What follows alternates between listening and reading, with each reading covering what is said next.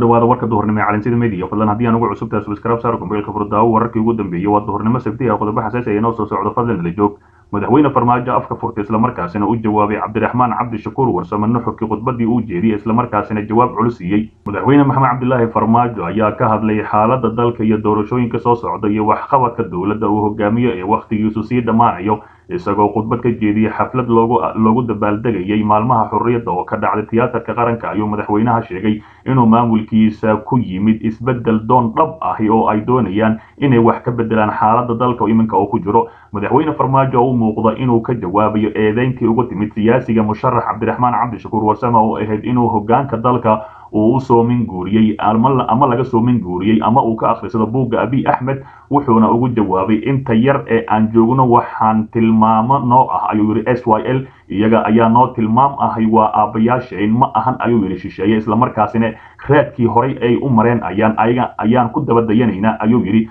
Taas oo sida badan loo fasiray inuu jawaab siiyey cabdiraxmaan cabdishakuur warsame oo yidhi adisababa buug yaalla ayaa laga hagaa. Madaxweyne farmaajo mar uu madaxweyne farmaajo ka hadlay hogaankiisa ayuu sheegay inuu ku yimid isbeddel doon oo wax badan uu ka beddelay xaaladda dalka ayna u harsan yihiin. Ayuu yidhi wax badan oo kale wuxuuna ku celiyey inay dhacayso doorasho qof iyo cod ahi oo shacabka ay awood u leeyihiin islamarkaasina ay dooranayaan cid kasta iyo cidkay ay rabaan ama cidda ay rabaan madaxweynaha ayaa dib u saxay hadal si khaldan uga soo baxay xafladii furitaankii kalfadhigii toddobaad ee baarlamaanka federaalk soomaaliya isagoo sheegay inay waxbarasho lacag la'aan ahay siiyeen ilaa lixdan iyo shan kun oo arday ayna doonayaan inay gaarsiiyaan ilaa hal milyan oo soomaali ah islamarkaasna lacag la'aan wax ku dhigta. Siyaasi cabdiraxmaan cabdishakuur warsame oo ka hadlay xaflad oo habeen dhexdaasi ka dhacday magaalada muqdisho ayaa yidhi buugga filla soomaaliya wax ka fiiriso waxaa laga soo min guuriyey adis ababa nin ayaa maanta isoo wacay ayuu yidhi oo ka mid ahay dadkii arrimaha geeska africa aad ula socda markaasuu yidhi jawar maxamed in la xiray ma maqashay. Jawar waa nin hogaamiye mucaarad ahi etoobiyana ka ahi. Markaasuu yidhi ha waan arkay oo waa maqlay. Wuxuu yidhi adiga ayaa ku soo xigo ee is ilaali maadaama filla soomaaliya aad ka tahay. Ayuu yidhi mucaaradka ugu afka dheere abiy axmed haddii uu xiray ninkii ka soo horjeeday filla soomaaliya shaqo kale ma qabanaysa ayuu yidhi ee dadka ka soo horjeedo ayay xidaysaa meesha laga soo qaatay tilmaamaha ee hala is jiro. Markaasuu yidhi cabdiraxmaan cabdishakuur warsame ha layga warqabayaan mar labaad la xirine dhinaca kale dalab culus oo laga soo saaray kulankii lagu taageeriyay kuraasta aqalka sare ee gobolka banaadir. Waxaa habeen hore magaalada muqdisho caasimada soomaaliya lagu qabtay kulan lagu taageerayo kuraasta aqalka sare ee laga siiyey gobolka banaadir waxaana kulankaasi ka qayb galay madaxda kala duwan oo isugu jira heer federaal iyo heer dowlad goboleed kulanka iyo xildhibaano siyaasiyiin aad u fara badan. Kulankana uu soo qaban qaabiyey maamulka gobolka banaadir. Ayaa waxaa madaxda ka soo qayb galay oo dhan codsadeen in sida ugu dhaqsiyaha badan loo bilaabo dhismaha kuraasta saddex iyo tobanka aqalka sare ee gobolka banaadir ku yeelan doonaan aqalka sare. Ra'iisul wasaare ku-xigeenka xukuumadda federaalk soomaaliya mahmed mahdi maxamed guuleed oo ka mid ahaa madaxdii ka qayb galay kulankaasi ayaa sheegay in shacabka muqdisho ay martigeliyeen dowladda islamarkaasina ay u soo dulqaateen. Dhibaatooyin badan haddana ay tahay lagama maarmaan in arrintaasi si deg dega loo horgeliyo. Dowladnimadeena horumarka gaartay in noqoto hoygii isku keenta soomaalida dibna u midaysay mar labaad muqdisho matalaad waa ay heshay saddex iyo toban iyo wax ka badan wayna istaheshaa maqaamkana waxa uu ku xusan yahay qodobka sagaalaad ee dastuurka awoodda golaha shacabka u leeyihiin waayo xukuumadda ahaan gobolka banaadir iyo guud ahaan. Waan ka wada shaqaynaynaa ayuu yidhi mahdi guuleed. Sidoo kale guddoomiyaha baarlamaanka soomaaliya maxamed mursal sheekh cabdiraxmaan oo isna kulankaasi ka hadlay oo hadal ka jeediyey ayaa sheegay in aysan jirin cid cad oo si cid oo si cad u diiday maqaamka gobolka banaadir balse ay jiraan dad si qaldan u u baalmaray ayuu yidhi tarjumaanta xeerka xaqiijinta gobolka banaadir qof kasta oo soomaali ah waxa uu xaq u leeyahay inuu ka hadlo kuraasta la siiyey gobolka banaadir iyo matalaada caasimada madaxda dowladda waa in ay sameeyaan ayuu yidhi tarjumaad dhinaca saxan ahi oo ay keliya waafajiyaan ayuu yidhi sharciga ka guddoon ahaan waan garab taagannahay in la xaqiijiyo kuraasta saddex iyo toban senatar ee golaha uu ansixiyey ayuu yidhi mursal sheekh cabdiraxmaan. Sidoo kale xildhibaan mahad salaad oo ka mid ahay mucaaradka aad ugu soo horjeeda dowladda federaalk soomaaliya oo isna kulanka ka qayb galay ayaa sheegay in saddex iyo tobanka kursi ee la siiyey gobolka banaadir ay tahay wax yar oo aan dhammayn wax lagu kala dhinto wuxuuna madaxweyne farmaajo ka codsaday inuu si deg deg ah u meel mariyo sharcigaasi islamarkaasina si saxi loo sharciyeeyo oo ummadda soomaaliyeed ay ku qancaan waxa aan rabaa ayuu yidhi in aan meesha fariin uga gudbiyo madaxweynaha jamhuuriyadda federaalk soomaaliya maxamed cabdilaahi farmaajo. Mudane madaxweyne sida aad ku sheegtay khudbadii aad u jeedisay lixdii juun iyo soo dhoweyntii labaatan iyo toddobadii juun kuraasta gobolka banaadir ansixinta kadib in aad soo dedejiso dhammaystirka wax ka dhiman oo ah in aad saxiixdo xildhibaan mahad maxamed salaad ayaa sidaas yidhi maamulka puntland iyo siyaasiyiin ka soo jeeda ayaa si cad uga hor yimid matalaada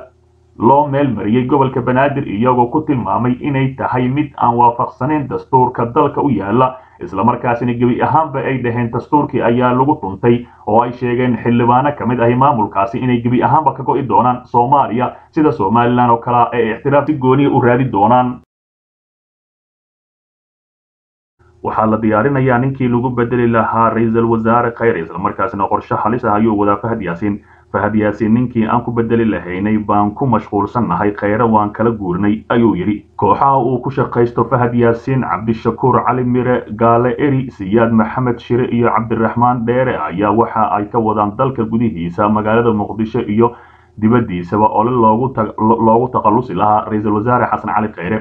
waxaa hoteelada magaalada muqdisho iyo goobaha lagu kulmo ee magaalada muqdisho ku arkaysaa kooxo uu soo adeegsaday fahad yaasiin oo sheegaya in dalka uu dhowaan ka dhici doono isbeddel aad u ballaaran oo siyaasadeed gaar ahaan in dhowaan la bedeli doono ra'iisul wasaare xasan cali khayre waxaan kuu sheegayaa in wakhtigii khayre soo dhammaaday ninkaas khayre fahad yaasiin waa uga soo dhammaatay adigaba qiyaas. Marba haddii fahad uu soo tufay maxaa u haray. Wallaahi farmaajo ma hayn karo khayre marba haddii uu fahad yaasiinkii xukunka hayay ay ka soo go'day in khayre uu baxo ama daaqadda uu ka baxo ayuu yidhi siyaad siyaad maxamuud shire. Dhanka kale fahad yaasiin ayaa u sheegay saaxiibadiisa u dhowdhow in ay adkaan doonto in xukunka ay ku sii ragaadaan haddii aanan isbeddel deg deg ah la samaynin ama lagu samaynin khayre. Ninkii aan ku bedeli lahaynay ayaa ku mashquulsannahay laakiin khayre waanu kala guurnay ayuu yidhi fahad yaasiin. Mar uu la hadlayay qaar ka mid ah xildhibaanada u dhow ee saaxiibadiisa garabkiisa ahi asbuucyadii la soo dhaafay ayaa fahad iyo kooxaha u adeega waxa ay ku mashquulsanaayeen soo xulista qofkii ay ku bedeli lahaayeen. Ra'iisul wasaare xasan cali khayre kaas oo ah shaksi ka turjumay